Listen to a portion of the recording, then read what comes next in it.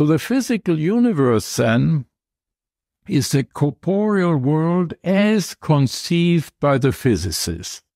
So in passing from the corporeal world to the physical, something is lost.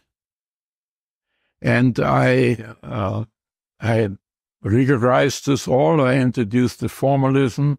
So with every corporeal object X, I associate a physical object, which I call Sx.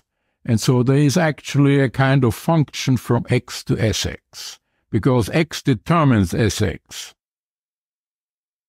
So this was the first idea, the distinction that between the corporeal world and the physical. And having made this decision, this uh, distinction, you, you still have a problem left. How, namely, does this transition take place? Because in, in the act of measurement, uh, there is a passage from the physical to the corporeal. The, the quantum uh, system, the wave function, uh, describes the physical, uh, pertains to the physical universe.